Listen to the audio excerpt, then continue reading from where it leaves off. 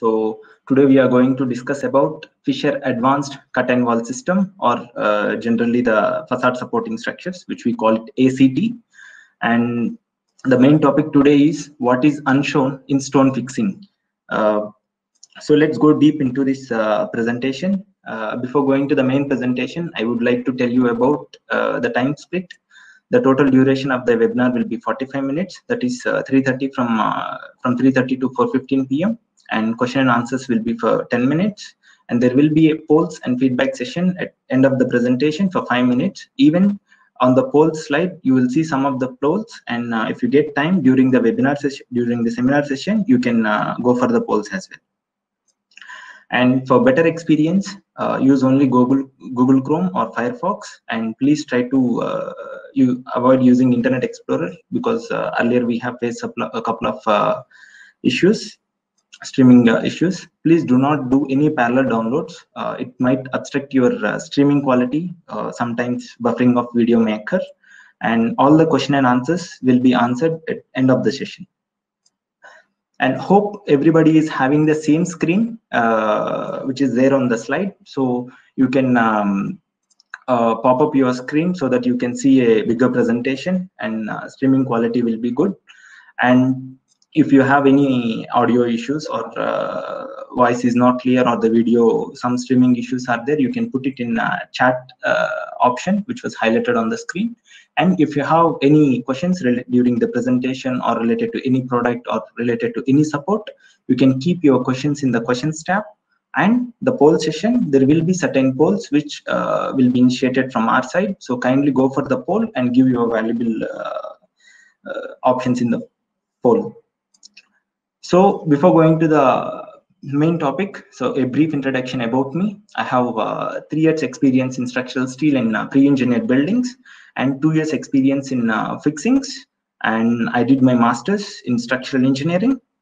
So this is the overall uh, brief introduction about me.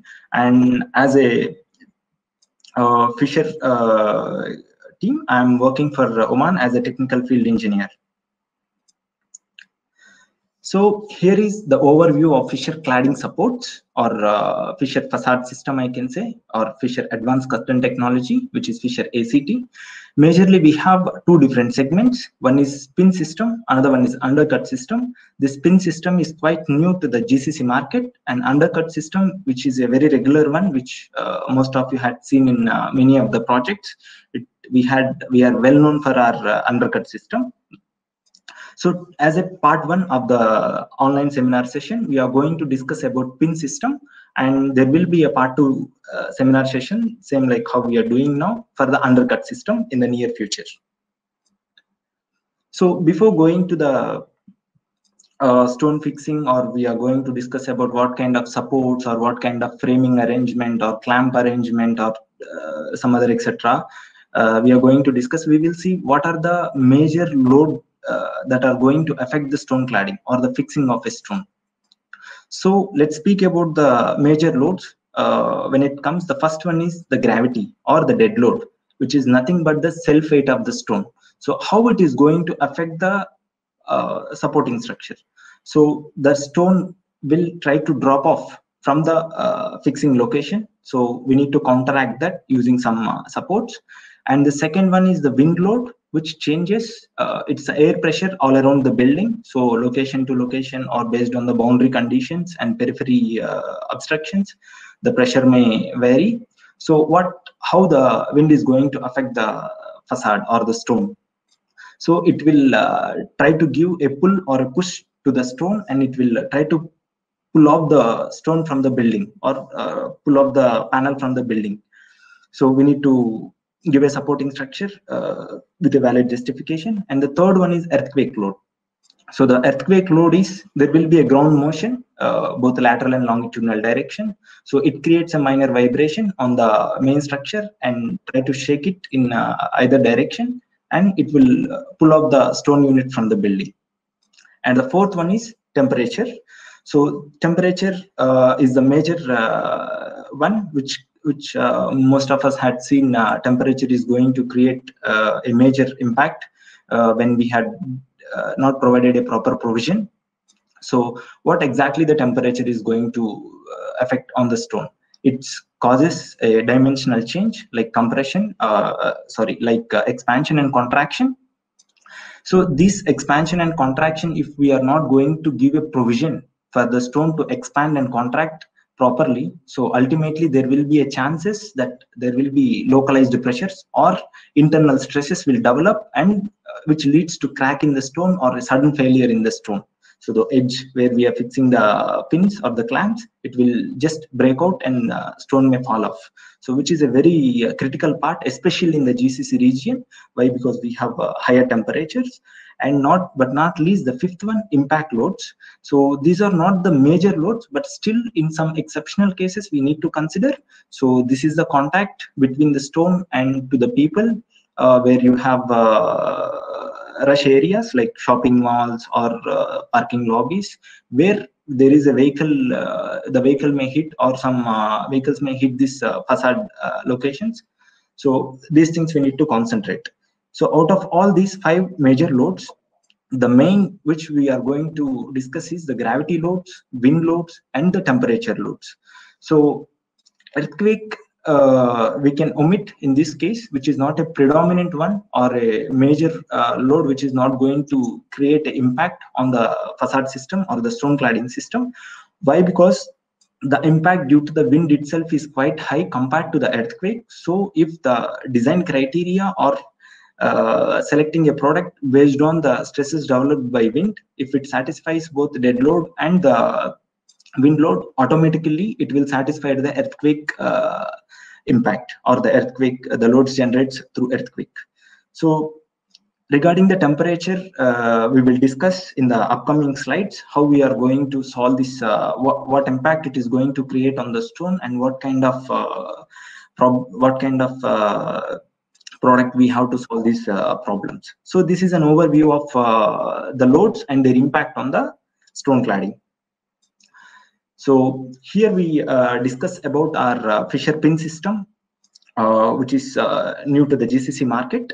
And uh, there were in each each pin uh, system or the each clamp system had certain number of accessories or certain number of elements which which assembles together to form a load bearing or load transferring unit from the stone to the sub, uh, from the stones to the uh, main substrate like RCC or uh, block wall.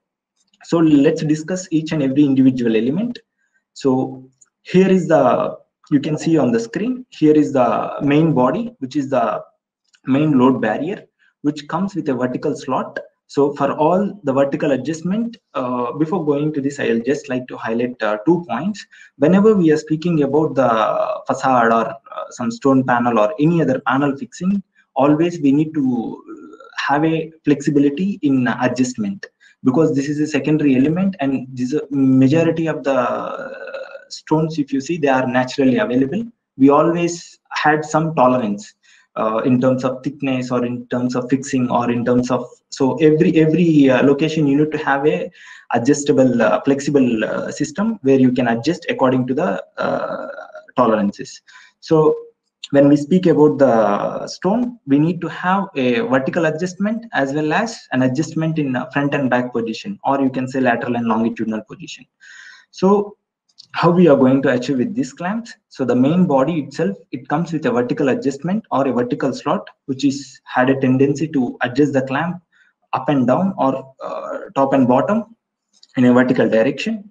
So generally this clamp comes in uh, stainless steel uh, which is quite because majority of the facades we will see in the external area of the building. So corrosion is the major impact since our region is completely across the coastal belt. So which is nothing but SS304 and 316 you'll get in both the materials. So let's talk about uh, uh, part or the element number two, which is a steel bush or a steel cylindrical uh, one, which had an internal threads. So which will uh, it's it acts like a guide for the flathead element, uh, which is highlighted uh, over here in the number of uh, three, you can say. So which is uh, an easy adjustment for front and back, which is acts as a guide with internal threads. This also comes both in uh, A2 and A4 uh, materials, same as I explained you before for the corrosion resistance. And the third element is uh, drive pin or the vertical pin, which is the second, uh, which is the first contact with the stone. This is the element which takes complete load, either it is gravity load or it is uh, wind load uh, or it is earthquake, all the horizontal loads. It the drive pin will uh, take all the horizontal loads, which will transfer it to the main clamp, and from the main clamp, it transfer to the substrate. And here is the coolest uh, or the nicest uh, feature I can say the plastic sleeve. So generally, uh, I had a question to all of you. So whenever we had seen uh, the stone uh, clamp fixings in RCC or in any substrate, our regular practice is we will drill uh, a hole in the stone. Basically, say if your pin is approximately say 5 mm or 6 mm, we will be drilling a hole around 8 to 9 mm. And uh, later on once the stone fixing and everything is done we will be filling with a uh, cementitious grout or some non-shrink grout. Correct? Uh, can you say yes or no for this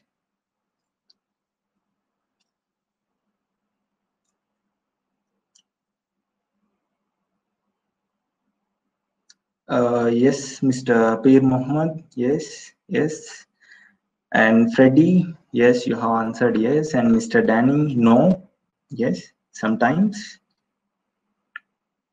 Yes, yes, that's a nice uh, answer, Mr. Danny. Yes.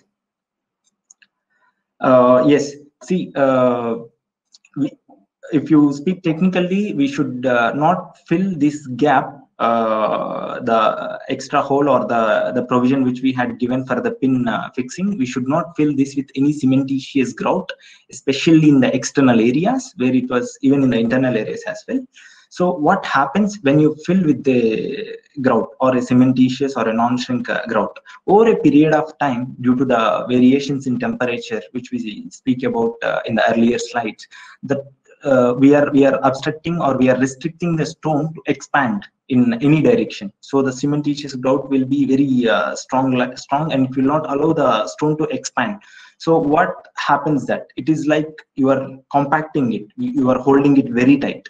So ultimately, because of this expansion, which we are not allowing the stone to do, so it will uh, develop an internal stresses and uh, it will start either the edge will break out or the complete stone it may crack and it will uh, fall down sometimes.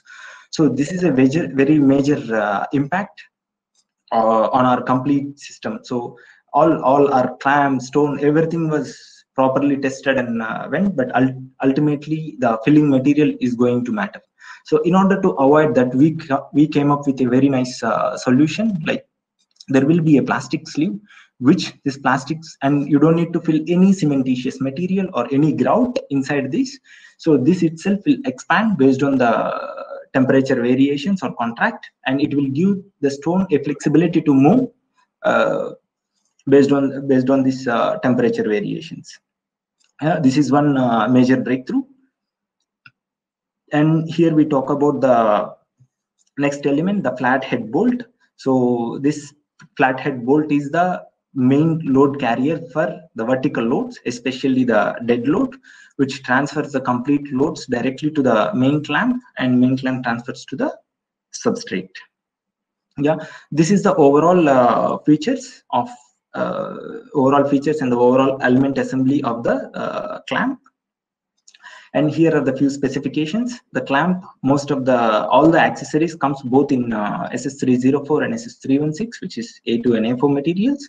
And the maximum stone thickness you can you can uh, fix with this is from 20 mm to 50 mm you can fix with this clamp and the maximum offset from 40 mm a minimum of 40 mm which is not including the stone it is excluding the stone thickness from 40 mm to 180 mm you can uh, use these clamps and the load capacity each uh, clamp can adequately carry. This is a factored load i can say. It is up to 150 kg or 1.5 kilonewton it's it can carry. So here you can see a detailed uh, image of how this uh, fixation is there for the concrete. A diagrammatic representation is there and uh, you can see the 3d clamp how exactly it looks like. Yeah. So here uh, we finished our uh, the basic features of the clamp and uh, the loads part, what kind of the loads and how much importance we need to give for the loads. And here are the few application references uh, or the application images which you can see how uh, the work is carried out using this clamp. So today we are going to discuss about one case study uh, related to say many many of the locations we had seen uh, either it can be the stone fixing will be on the periphery generally for the concrete structures or for the hollow blocks maybe solid blocks. Uh, did anyone come across uh, a non uh, a non uh, solid substrate like uh, Uh, steel structure or some kind of uh, truss or some kind of uh, steel framing something like a very heavy framing Uh, can someone answer for this?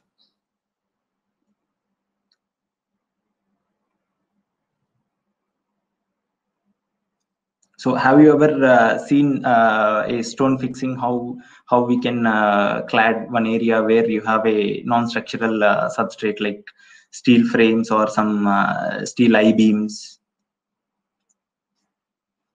Yeah, let's move on. I'll show you one case study which we have done recently. Yes, uh, thank you, Mr. Abhinav. So here is uh, one of the challenging uh, tasks which we have come across recently, which of the challenging area. It is one of the reputed uh, project and one of the royal project in Oman. And this is the area uh, we need to do the complete uh, stone cladding, which I have highlighted over here with the red lines you can see on my screen. So this is complete uh, a structural steel area and this complete area has to be cladded with stone so here come up uh, here is the special uh, thing i can say from fischer. Uh, we take each and every job as a challenge and we will try to find the best uh, solution for the market. So here we will show you. So these are the other uh, pictures from the different angle or different view. You can see. So the total height of this application or the I-beam, uh, which you can see on my screen. So this complete column height is around 14 meters height and the complete width of this area is around uh, 30 meters. Say approximately the square meter area is around 600 to 700 square meters. So here is our design approach. Uh, here on the left side, you can see uh, the complete uh, structure, how we have uh, gave the structural framing in order to support the stone cladding. So we have taken uh, supports from the I sections. And if you see, I made it three different segments and uh, with a more clarity in the images. If you go to the first segment, uh, here you can see we have two I-beams and uh, using the two I-beams we have taken some uh, lateral channels and uh, we have cladded, we have given some vertical support. So this vertical support is going to uh, clad, uh, going to support the stone completely and here uh, you can see this uh, second segment. Here it is quite different because on the top we have two i sections but on the bottom we have completely tube sections. So now let's go to the previous slide and see exactly now uh, let's take a close look. See on the top you have a flat i beam and in between you have some tubular sections. Am i right? Yeah. So and again on the bottom you have some uh, two more i sections over here. So this is uh, in in uh, in an interval of uh, every 3 meter we have 3 to 3.5 meter we have uh, the structural steel uh, members to take the support.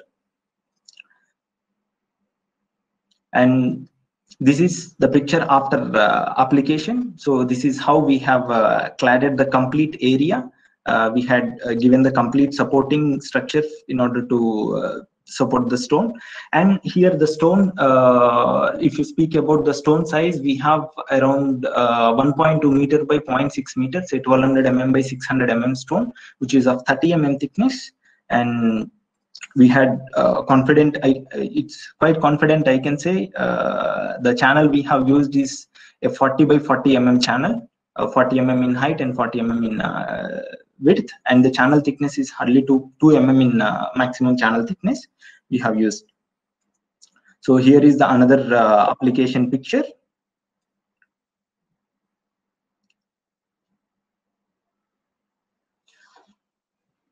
So there are uh, i mean uh, these are different uh, applications which we had seen in the case study is related to complete a non uh, solid substrate like it's neither concrete nor block walls or hollow blocks and here you can see a different kind of application for especially for the solid areas so generally we might have seen using the clamps but here we come up with one more new application where you have uh, bigger offset. Say, for example, with the clamps, we had gone up to uh, say 100 to 180 mm or uh, maximum you can say 200, not more than that. So when you have a bigger offsets or when you have a more flexibility, like you need to you, you, you don't want to drill in so many uh, like if you have a complete shear wall or some uh, major structural element which is going to carry the building loads.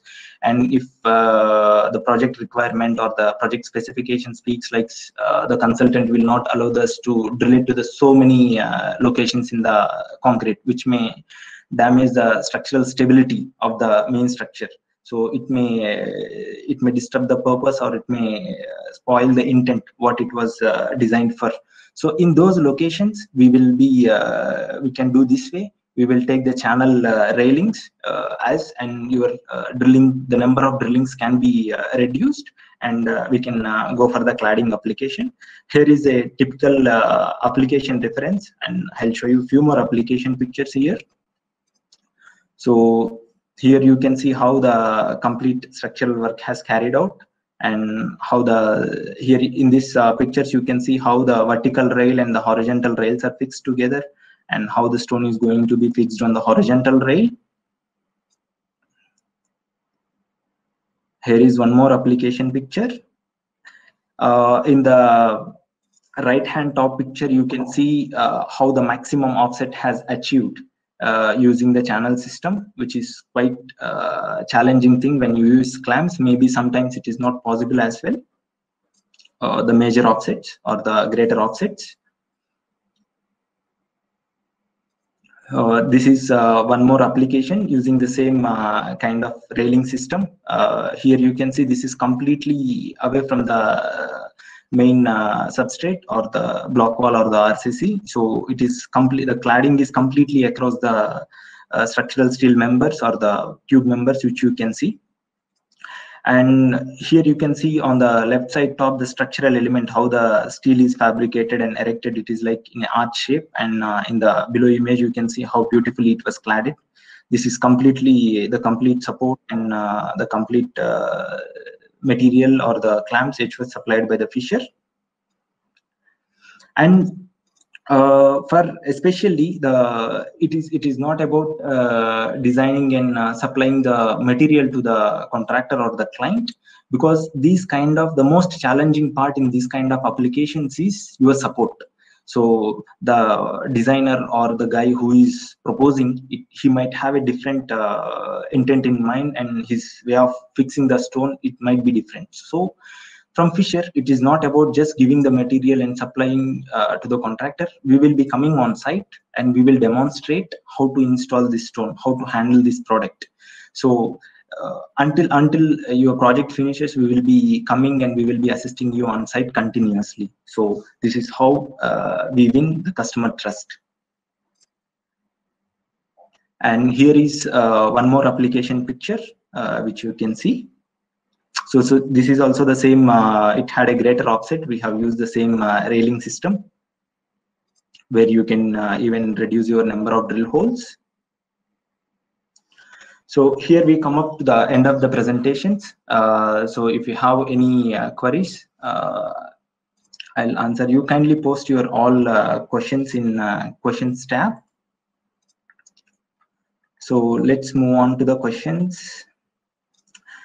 Mr. Andre Raji is asking, can you be so kind to send me the presentation used after the webinar via email? Yes, uh, Mr. Andrew, we will be sending you the presentation after the webinar. And Ruben, uh, are there special requirements for the blast loads within your fixing systems? Uh, Mr. Ruben, uh, yes, we can consider the blast loads as well, uh, but uh, ultimately it depends on the design, like how how much uh, impact or how much loads that uh, it was designed for.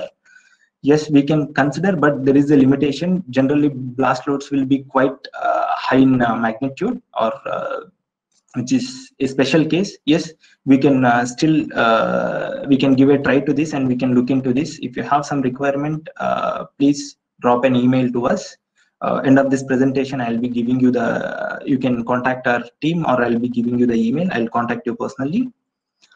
And Sinlido is the capacity 1.5 kilonewton for both vertical and horizontal loadings.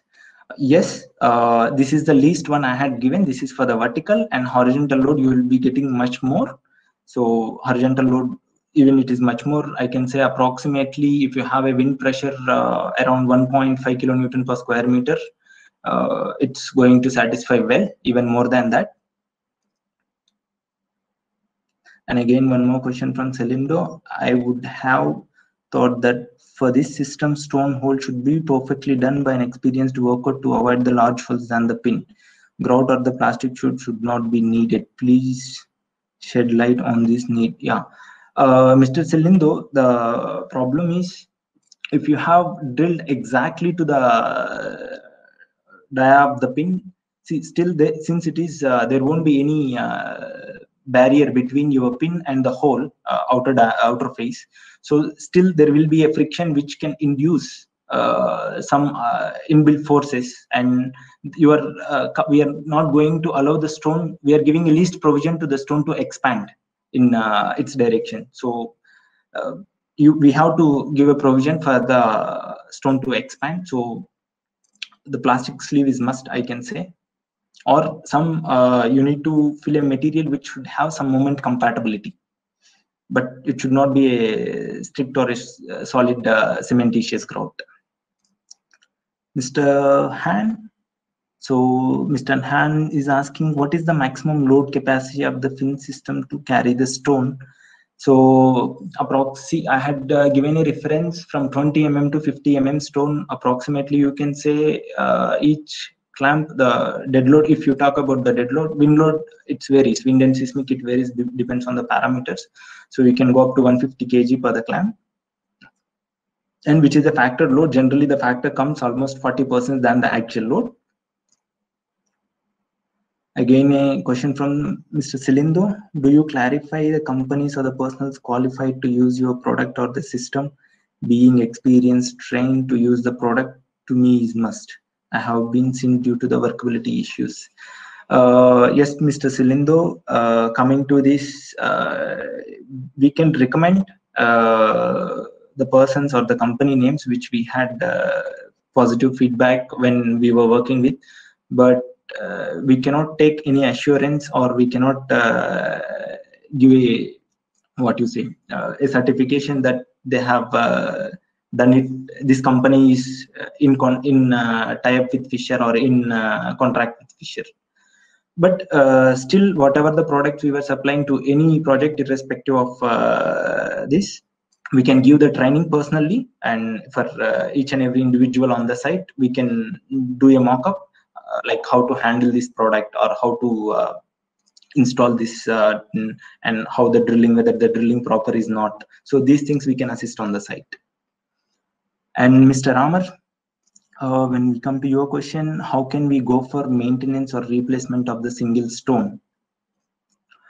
Uh, I think uh, if I see your question specific, like say for example, if there is a problem in uh, one stone between, uh, say you have a couple of area and at some location where you cannot replace one single panel, actually you need to take the complete series of panels, at least uh, uh, from the top and you need to replace the center panel so there is no other way for this especially in the pin system and mr danny which item you used between channel and stone.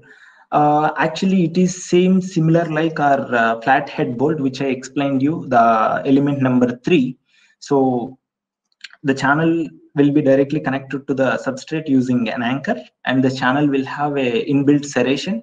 So we have a customized bolt for that to hold it in the serration and uh, you will be fixing the flat head bolt how we fix it to the normal clamps. We can share you that detail. And Mr. Silindo, I think the material fails first for the blast on the blast before the anchors. Uh, yes, yes, you are right. So the stone itself might failure first because uh, the anchor part or the clamps are quite uh, stronger when it compared to the stone itself. Yes, I agree with you. And Mr. Danny, sorry I attended late. Will be how? Yeah, sure. We will uh, we will send you an invitation and uh, for the undercut system as well.